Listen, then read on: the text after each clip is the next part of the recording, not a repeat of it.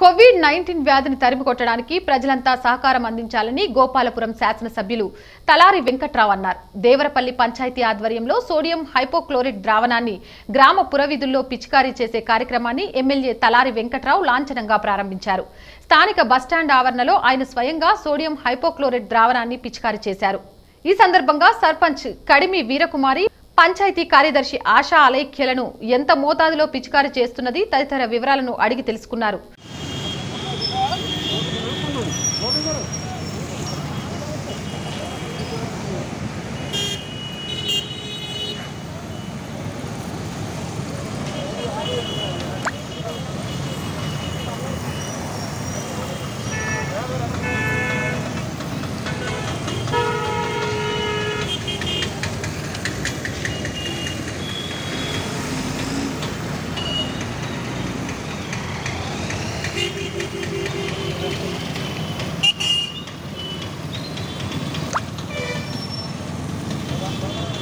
అనుకుంటే ఏం చేయలేదు.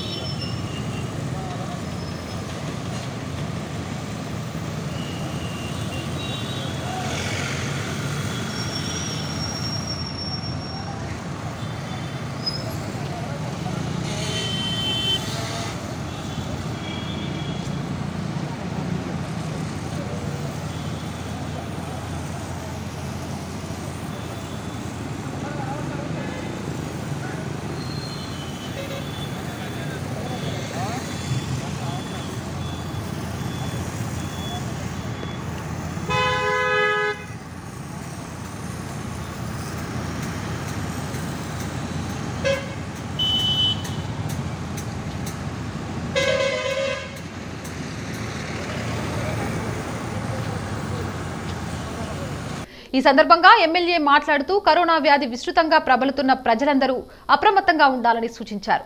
ప్రభుత్వం నిబంధనలు తప్పనిసరిగా పాటించాలన్నారు.